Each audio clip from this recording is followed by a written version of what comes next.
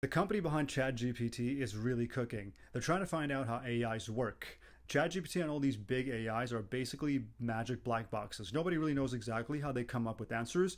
They're super smart, but they're also really messy on the inside, like a brain with a trillion tangled wires. So OpenAI has just built a new experimental AI that's way smaller. Think a baby version of ChatGPT 1 from 2018.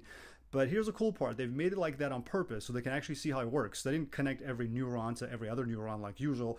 Instead, they've used sparse setup. Each neuron only talks to a few others. That means that ideas and functions don't get smeared all over the place. They stay neat in little cluster. So when this mini AI does something simple, like noticing you started a quote and needs to close it, a scientist can literally trace the exact path oh, this is the group of 12 neurons that handles opening quotes, and these are eight that handle closing them. And here's a signal passing through. It's like watching uh, the gears turn on a transparent clock. It is not at all powerful enough to replace ChatGPT 5 or anything, but that's not the point. The point is that if we can crack open this baby AI and understand every decision, we can use those lessons to figure out why these big AIs sometimes lie, hallucinate, or go off the rails, and eventually maybe build a full-size GPT-3 that's fully explainable. It's like going from trust me bro to here, let me show you the map.